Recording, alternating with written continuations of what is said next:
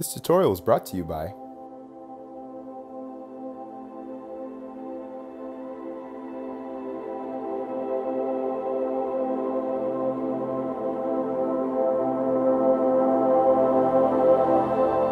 Hey, what's up guys? My name is Josh Enobakare and welcome to Olufemii Tutorials.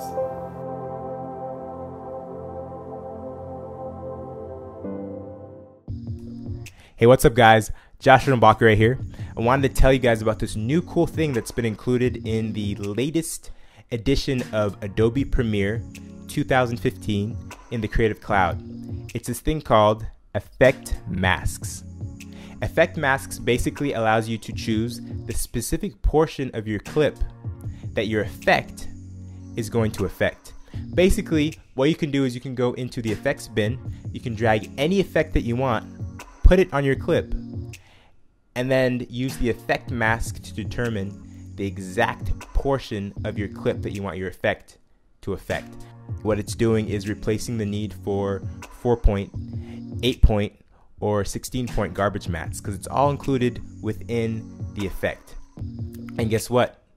Feathering is included and a lot more stuff. We're going to check that stuff out right now. What I'm going to do is I'm going to show you three examples where this effect mask could be used. The first example is if you'd want to brighten a specific area on your image.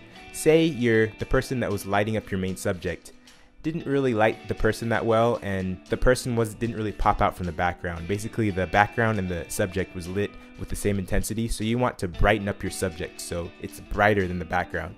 Easy, this is what you do. You go to effect, you go down to RGB curves and then you take RGB curves and you plop it on your clip. In this case we're to have a footage, we have footage of a girl standing against the fence. Now what we're to do is we're going to bring up the um, highlights in the image. But as you can see, when you bring up the highlights in the image, it brings up the hi highlights throughout the entire image, but we don't want to do that. We want to only bring up the highlights on the person so that only she pops out and everything else stays the exact same intensity as far as the the, uh, the brightness goes. So what are we to do? we're gonna go and we're gonna draw a mask around that person.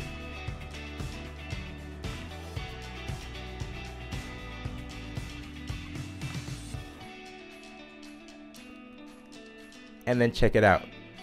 The effect that we just placed on the clip, the brightening effect that we did when we raised the highlights up, is now only implied is now only applied to the area within our mask.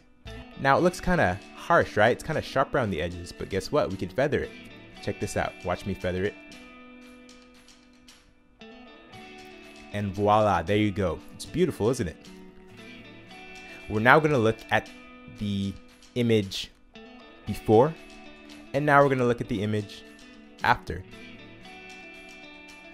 Pretty cool, right? Now we're going to check out the second example.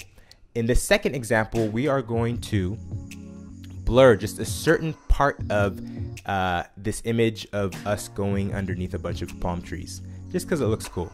So we have our original image, looks like this. Now we're going to go over to effects and we're going to go to blurs and we're going to go to directional blur and we're going to put directional blur onto that clip. Then again, we're going to go to our masking tool and we're going to mask out the little triangle shape that we want the actual blur to affect in the image. And then again, we are going to feather the edges. And voila. Now take a look how this image looked before. And now look how it looks now. And now we're going to look at the third example in which we can use this amazing effects mask option. We're going to create a vignette. We're going to go and we're going to create a solid by going into our projects bin and right clicking new item and then picking color matte. We're then going to make the color matte black and then we're going to drag it into our time timeline. What we've essentially created is a solid black clip. Then we're going to go to effects and then we're going to go to transform and we're going to go and take the crop effect and place it onto our black solid clip. Then instead of drawing out a mask, we're going to use the oval mask option and we're going to expand an oval mask over the black clip. And then we're going to go um, back into our crop effect and we're going to crop from the bottom all the way up to the top. As you can see, the crop effect is only working within the mask that we created. Pretty amazing. And then lastly, we're going to feather our mask. And look what we've created. We've created a perfect subtle vignette. I also want to show you that you have the option of keyframing your mask. Say the thing that you're trying to mask is moving over the course of time. What you can do is you can choose the specific area that you want to mask over the course of time through keyframing. If you've seen past tutorials, keyframing is basically keyframing an effect over the course of time. So check this out. What you do is you draw your um, mask. In this case, we're going back to um, the type of effect where we want to brighten up only a certain part of the image. So we're going to go to RGB curves and we're going to um, put RGB curves on the clip and we're going to draw out the mask around the person. And then as the camera moves and as she moves within the frame, we're going to click on um, the keyframe option. And as you can see, I'm going to add keyframes and continue to adjust the mask as the person moves over the course of time.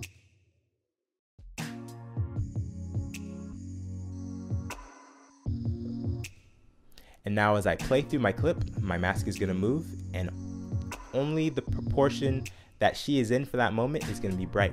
And as she moves, the mask is going to move with her. Now lastly, this is a pretty amazing um, option that has now been included in effect masking. And it's the option to actually track a subject automatically. This is something that is a powerful tool that you'd usually only see in After Effects, but check this out. What you can do is you can again draw a mask over the, um, in this case, we're going to brighten up a person again.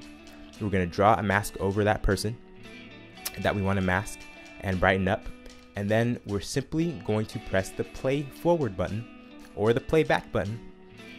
And we will then watch this mask automatically track the subject that is that it has been drawn over over the course of time.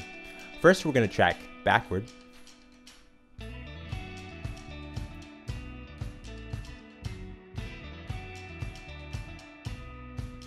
Then we're going to track forward.